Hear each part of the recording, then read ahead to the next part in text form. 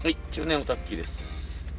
えー、今日はカメラの紹介をどんどんしてもういいんですけども、えー、っとね、ツイッターの DM とかで、こう、あの、技術的なお話をしてくださいとかいうのも結構来ておりまして、まあ、あの、YouTube のコメントでもそうですけど、写真の技術的なお話をしてくださいという、あの、要望が結構来ております。えー、私、その、プロカメラマンでもないですし、あの写真のね、芸術大学とかを出たわけでもないんで、技術的なものにそんなに深みは持ってないんですけども、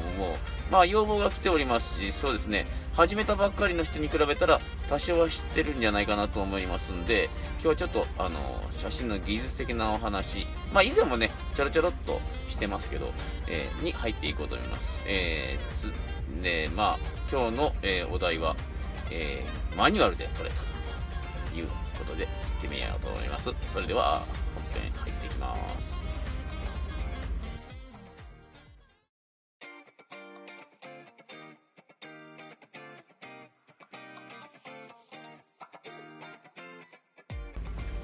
えーなぜマニュアルで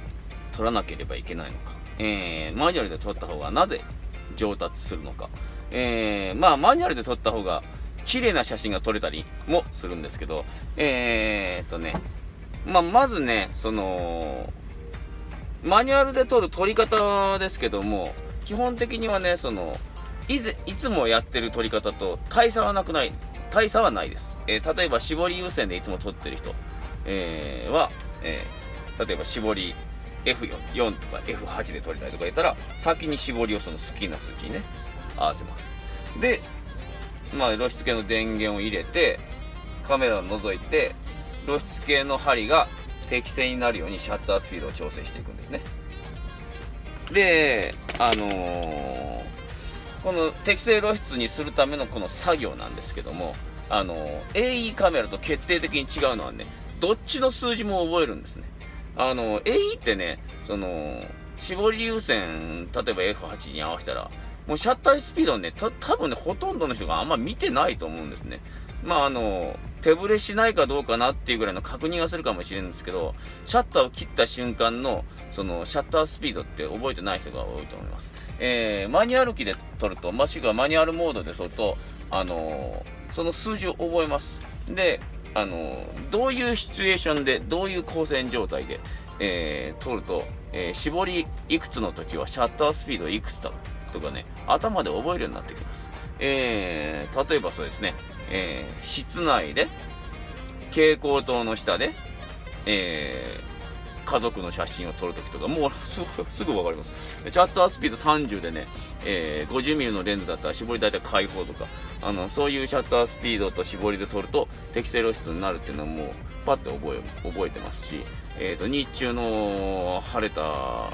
えっ、と、屋外だったら、まあ、一度言いましたけど、250の F8 とか、250の F11 とかね。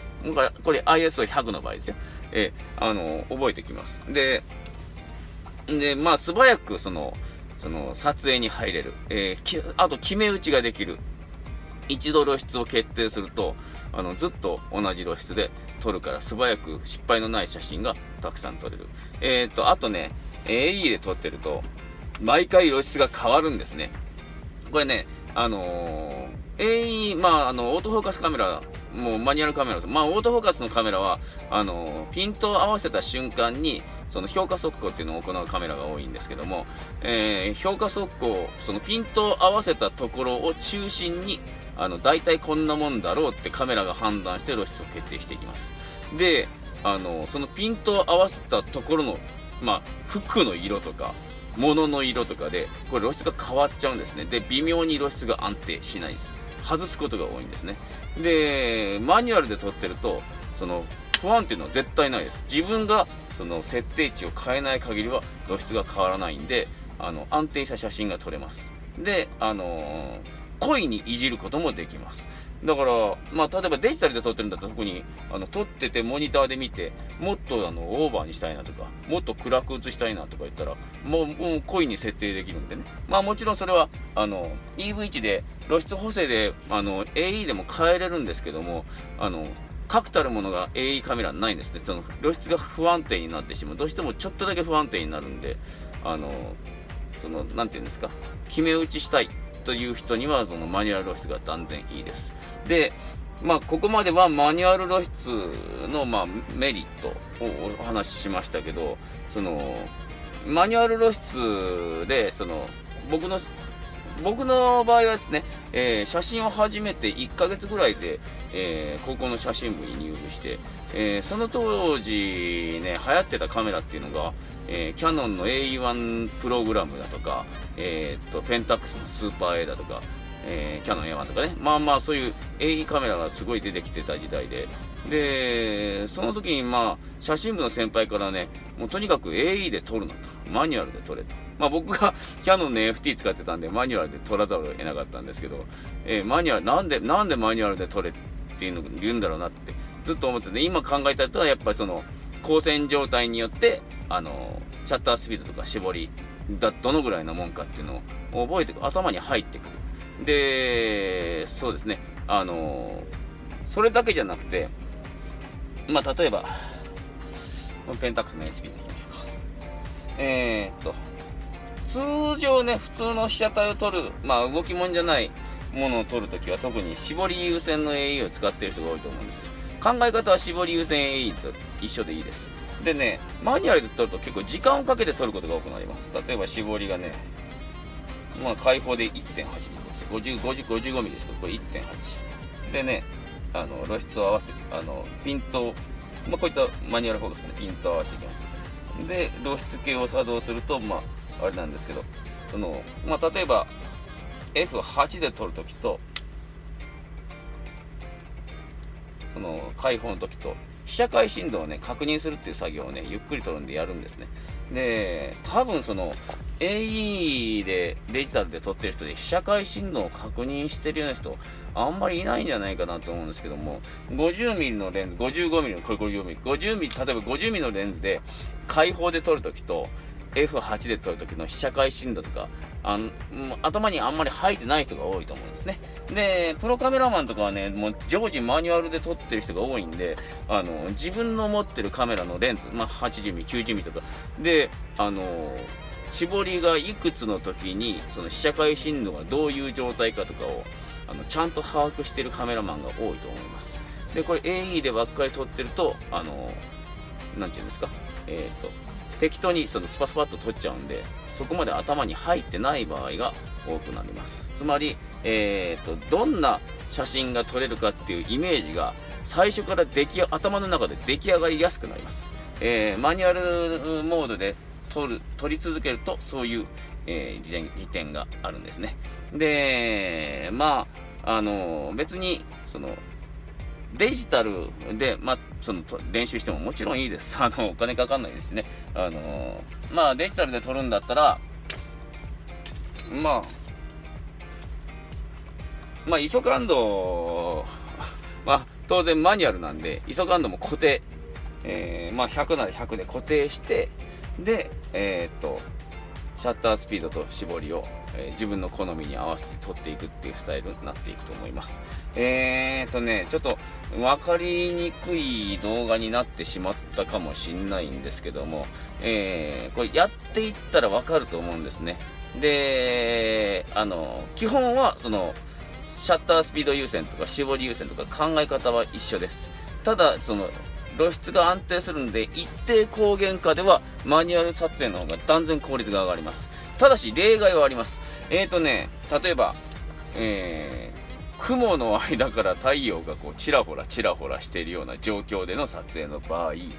えー、マニュアル撮影は、ま、非常にしんどくなります。僕はそういう時は AE 使ってます。あの、安定して天気が、あの、いい時は、えー、まあ、あの、マニュアルで露出固定して撮るんですけど、まあ、光が安定してない時は結構 AE 使いますね。あの、まあ、特にお仕事写真の場合とかとか失敗が許されないんで、そういうこともあることはあります。まあ、そんな感じですね、今日の動画。えーとね、あのー、まああのそのデジタルカメラの時代の人はそのマニュアル専用機っていうのを、あの触ったことがない人がほとんどだと思います。まあ今日、今日カメラちょっとここに2台、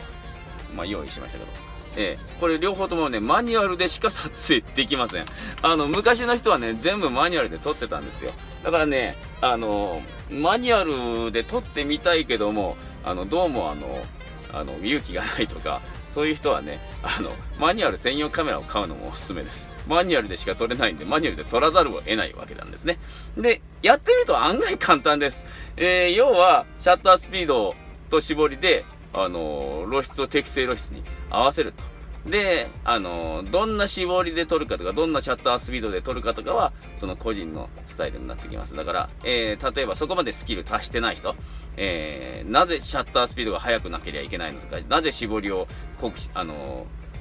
えー、絞らなきゃいけないのとか、足してない人はちょっと本とかで勉強す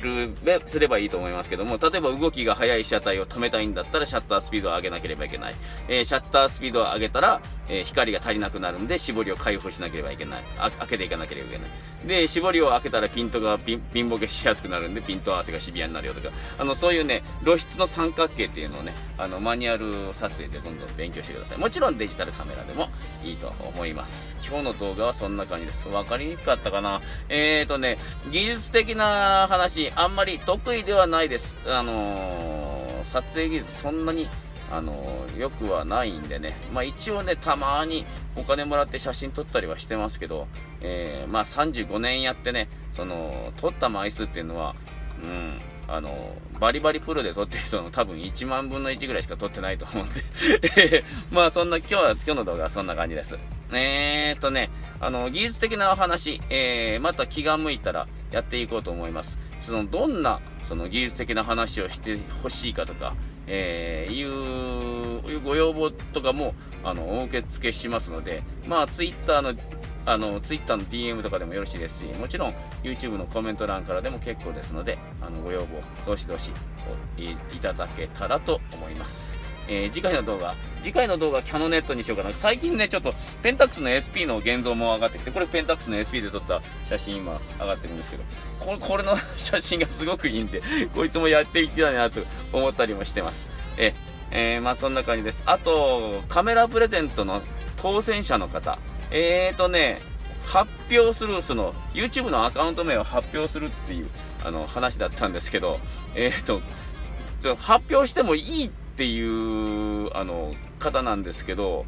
あの、バリバリ本名なんで、ちょっと、ちょっとやばいかなと思って、名前は控えさせていただきます。えー、千葉県の方に当選しました。えーとね、えーと、昨日送ったんか。昨日送って明日到着する予定なのかな発送させていただいております。次回のカメラブレンドとは、えー、っと、ちょっとまだね、あの、候補のカメラのテストが済んでないんで、それが済んでからになるんで、1ヶ月か2ヶ月後ぐらいになるかな。ちょっと忙しくてね、写真が全然撮り進んでないんで、えー、またあの、準備ができましたらね、次のカメラプレゼントも行きますよ。えー、そんな感じです。えー、ここまで見て、えー、面白かったなとか、役に立ったなとか、えー、次の動画を見てみたいなっていうことは、まあ、チャンネル登録、えー、いいねボタンもね、ぜひ押していただければと思います。最後まで見ていただき、ありがとうございました。えー、次の動画、